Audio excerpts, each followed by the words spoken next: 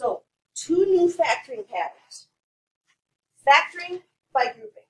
It is a scientific fact that 99% of human beings can remember three numbers. That's why your locker combination is made of three numbers. That's why your social security number comes in three parts. That's why phone numbers come in three parts. As soon as we take it to a fourth number, you lose almost everybody. People have much more difficulty remembering four in a row than they do with three. So that's the reason they work the way that they do.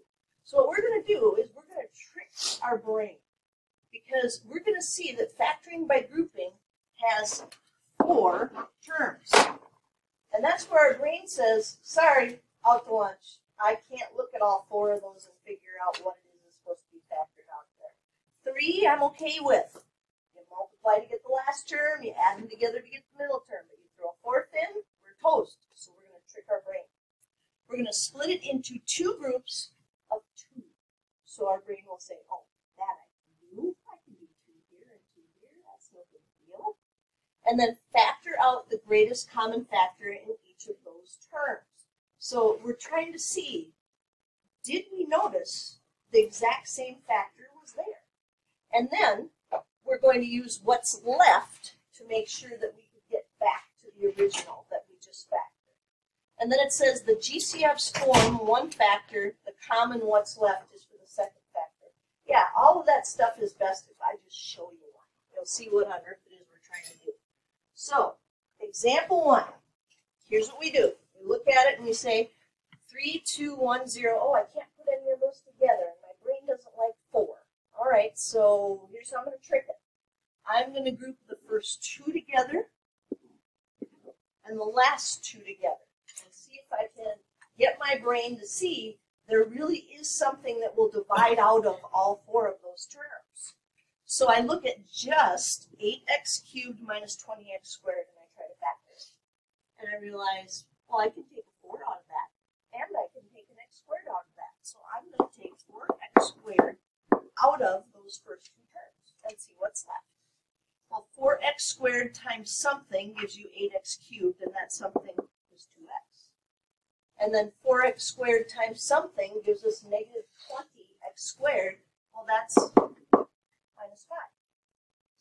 Now, I'm not done, and my brain still can't see what on earth is going on until I factor the second group. So I look at my 6x minus 15, and I think, well, I can pull a 2 out of that. Uh, I, I, sorry, a 3. Thinking ahead to the next step. Pull a 3 out of that. And if I do that, 3 times something is 6x, and that something is 2x. 3 times something is negative 15, and that something is negative 5. And now the light bulb comes on.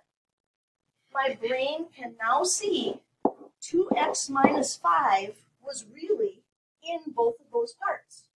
So I can see that that's a factor. Now it's not there twice. Remember, we had to pull a trick on our brain to get it to see that it's in both of those pieces. It's just there once. So it's like we're going to take this 2x minus 5 and we're going to factor it out into the front. And then we have to put what's left, which is the 4x squared and the plus 3, in the other set of parentheses. Because this always has to work forward and backwards. That's math. So if we can factor this and get this, we should be able to do FOIL on this and get back to the original. That way we can kind of check our answer and make sure it's going to work. So, major trick on the brain. Over here, this looks pretty scary. There's all kinds of variables going on here. But if I remember four terms that I can't put together, and I group them, I think, well, there's an A in both of those first terms. I'll just pull an A out of that. And it'll be X plus Y. And then these back two, well, I definitely see a B in both of those, and I can pull that out. And then it's, oh, good, I tricked my brain. X plus Y was really there the whole time. I couldn't see it because there were four terms. But the piece that's going to give me that is this A plus B, the leftovers. You know, what did we use to see that, to make sure it was going to work? So let's go down to example any of those together? Or any of those like terms? All right, so then when we see four terms, we should say, you know what, I'm going to have to group this. My brain can't see the factor that's there. So 5m cubed minus 10m squared. What could we take out of both of those? And I heard some people say the 5, and I heard some people say the m squared. So together we've got all of that. So what would be left in here?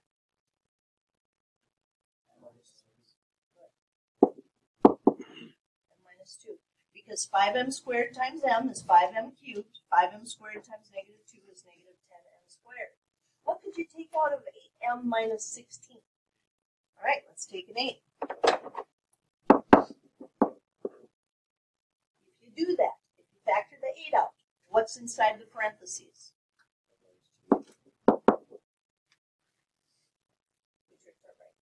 We can see it.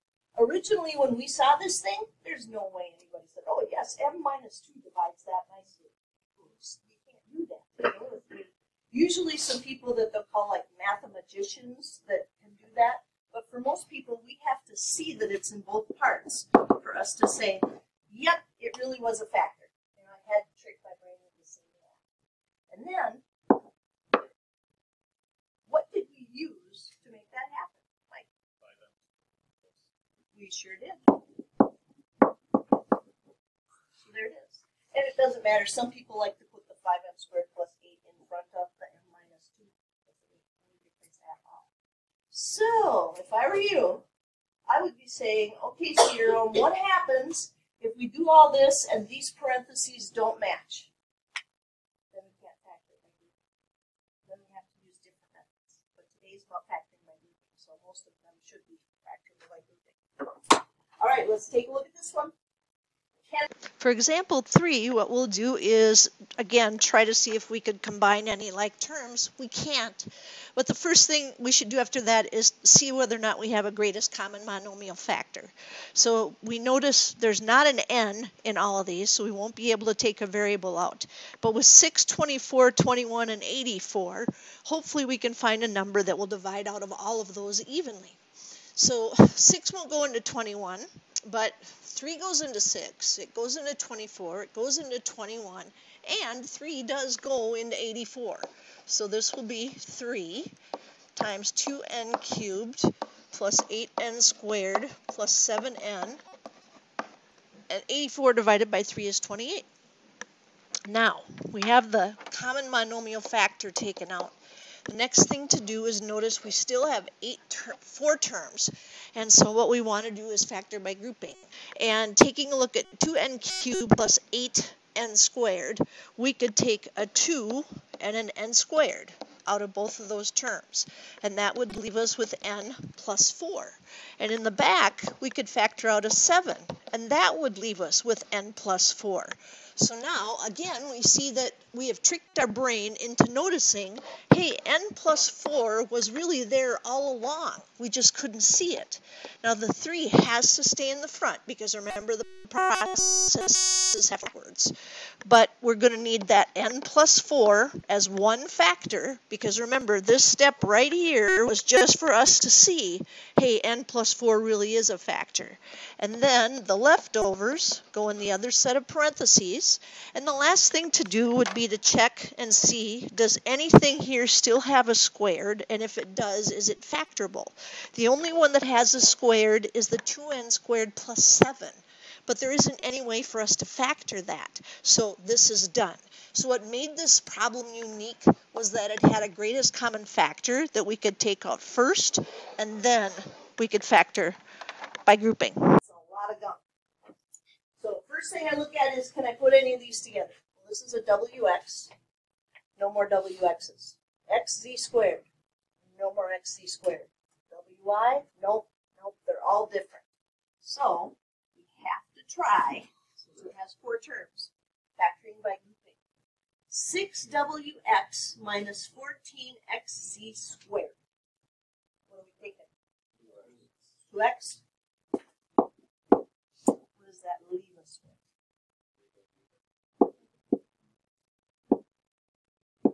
seven. That's a lot of stuff. Well, let's see if we get the same stuff in the back.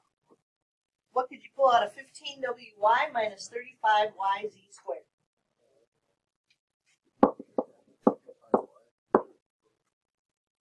What's left?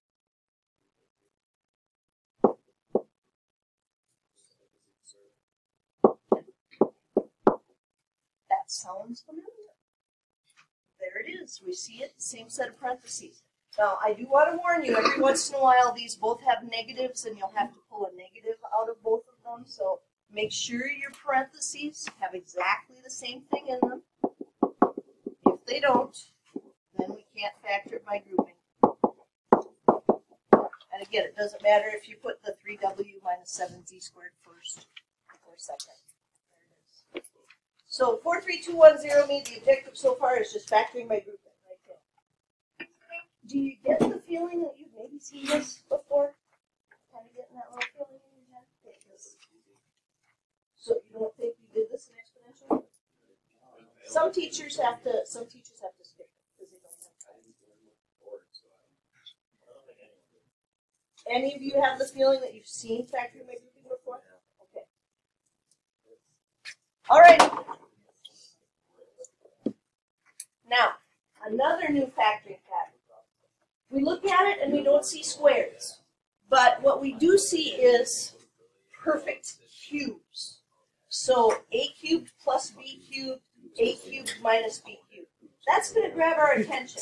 Two reasons. First of all, we're not as comfortable with cubes as we probably should be. So let's say that somebody looks at 64 and they don't know if it's a perfect. Remember on your calculator, because we talked about this when we were doing powers before, underneath the math button for number four, right there, that's cube root. So if you don't know whether or not 64 is a perfect cube, you can always do that and you'll get four. Now, I don't think I gave you huge numbers for this today because I wanted you to feel pretty comfortable. Oh, there's a couple of them here you might not like. So let me stop. And we're going to say, well, this is really weird because this is cubic stuff. We haven't done cubic stuff before. And this is a formula that most people do just memorize. Now, I try not to memorize. So what I do is use logic. And I look at a cubed plus b cubed and I think, well, somewhere in that thing, you must be able to pull out an a plus b. I mean, there's three of them for goodness sake. There's got to be one a plus b in as a factor. Then I think, okay, now working backwards, how would I get that to be a cubed plus b cubed? Well, if this is just an a, this is going to have to be a squared. And if this is just a b, this is going to have to be b squared. It's the only way it's going to work. And then I think, if it doesn't have a middle term, I'm going to have to use the opposite sign for that middle term. Otherwise, everything is going to have lots and lots of terms. So that means I'm going to have to, since this is plus, use subtraction of the two of those multiplied together. So again, some people just memorize it. I try to think logically about what's going to happen. This one says a cubed minus b cubed. Okay? If there's three of them, there's got to be at least one factor that's just a minus b. So thinking backwards, a times something has to give me a cubed. That's a squared. b times something has to give me b cubed. That's b squared. And the middle term has to drop out. So if this is a minus, the middle term has to be a plus. And it'll look like that. So if you can, use logic instead of memorizing. That's just always the best thing to do in math is to think logically about it. So this shows us why it works. I'm not going to bother you with that. That's a lot of algebra with variables there. We're just going to get into practicing this. So we've got factor, for example, 5, x cubed plus 125. Well, I can only do that if 125 is a perfect cube. Is 125 a perfect cube? What is it? Cube. 5. So this is x cubed, and this is 5 cubed. And I remember, oh, this is the one where I need the formula. Okay. So this is plus a cubed plus b cubed. That means there's going to be an a plus b in there somewhere. Now, what do I multiply a by to get a to the third? a squared. What do I multiply b by to get b to the third? b squared. But my middle term has to have the opposite sign, otherwise I'll have middle terms, and I don't want that. So this will be minus ab plus b squared. Now why do I use that? Because I need a formula to put these into, and I just found the formula. There it is. So a is really x, and b is really 5. And we're going to put them in the formula and simplify as we go. So this is just going to be x plus 5. Then we have to take x and square it. Then we have to subtract x times 5, which is 5x. And then we have to square b. It was 5, so that's going to give me 25. Mike, did you have a question or were you already filling in? Okay. Now, the question always comes up. Is that one still factorable? Because we're supposed to factor as long as we can. Well, you can try it. You can think for a second. Two numbers that multiply to 25 and add to negative 5. I'm going to tell you 98.5% of the time, we're done. We can't factor at this point. These are usually not factorable. Now I say that, and there's always an exception. So every once in a while, one of those quadratics will be factorable, but it's once in a great while. So just stop and ask yourself, are there two numbers that multiply to 25 and add to negative 5? Nope, not gonna work. I'm done. It's factored. Let's go to the next one. 8m cubed plus 343. Well, the first thing I would want to do is divide both of those by 8. Does 343 divide nicely by 8? No. All right. Um, well, how about we try another number that divides 8 nicely? 4. Is 343 divided by 4? Can we at least make this smaller? How about 343 divided by 2? Well, we already know it's not going to work. It's, it's not even a number. So we're stuck with 8 and 343. And we should realize, well, 8's not so bad. Because what do you cube to get 8?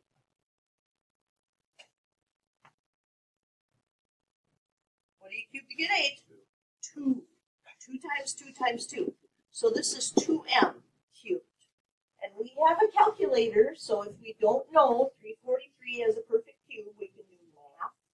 Number 4, 343, and the calculator will gladly tell us that that is 7 cubed.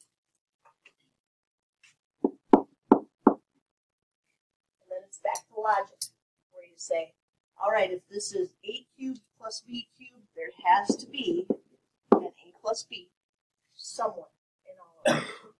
And if I'm working backwards and I need to get a to the third, I'm going to need two more a's and two more b's.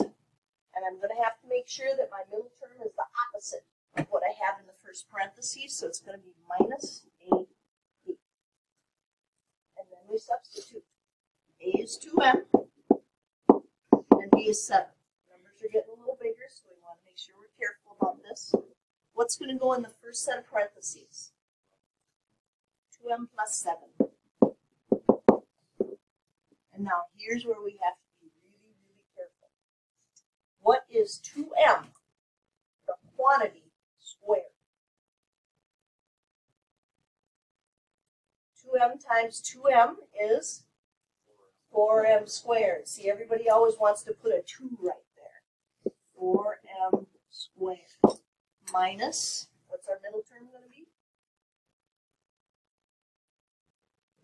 14m plus, last term, 49. And I do want to remind you, because I, that one, you can't just say, hey, two numbers multiply to 49 and add to negative 14, because there's a term in front. Remember, you can always do the discriminant, and if the discriminant turns out to be a perfect square, then you know it's factorable. So, we do a little b squared minus 4ac on our calculator and see whether or not we get a perfect square. So that will be negative 14 squared minus parentheses 4 times 4 times 49. And it's negative, so it's definitely not a perfect square. So this one is done. We are finished. We've gone as far as we could possibly go. Oh, next one looks smaller there. That's kind of nice. All right. Um, so n cubed minus 260. 216, is that a perfect cube?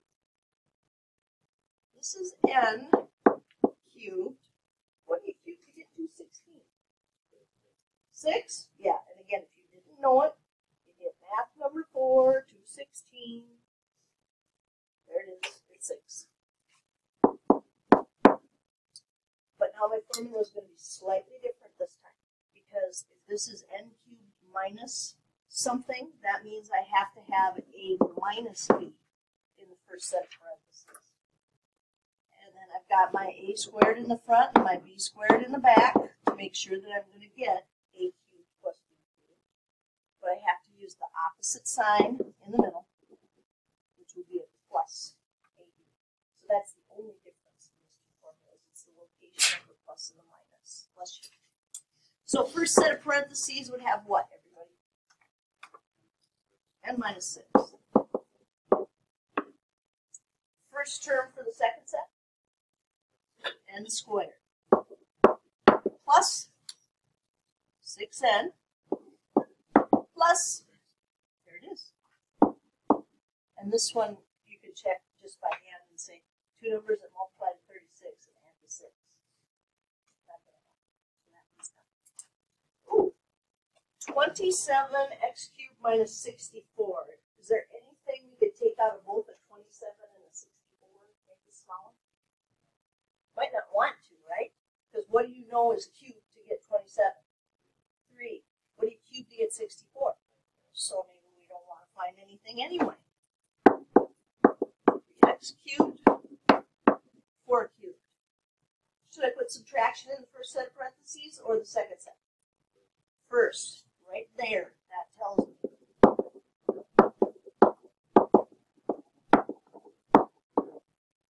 So, what's going to go in our first set of parentheses? Yep. Now be careful. First term, good. 9x squared. You have to think 3x times 3x. Plus what? 12x. Plus, there it is. Again, just to be sure, you could b squared minus 4ac. Make sure that that's not going to be factorable. So 12 squared minus parentheses 4 times 9 times 16. Again, we get a negative number. We know we're done. That's not a perfect square. So that's finished. All right. I am impressed. I am impressed. Um, look, I'm looking out here and everybody's heads are down and you were doing these last three before I even wrote the formulas down. Um, you, I already know about you guys that you are great visual people with the graphs, but you also seem to be really great formula people, and that's going to help you out a lot with this. So, a little practice. Here's what I need you to do though. Don't follow the directions the book has because they're going to say factor and solve. We didn't do the solve part yet. So for 11 through 19, just factor those and then stop. And then go to a couple of review problems in 61 to 67 there. So I know it's hard because you want to read the instructions in the book and do it this way, but all we've done so far is factor. So just factor 11 through 19. I won't try to do those all.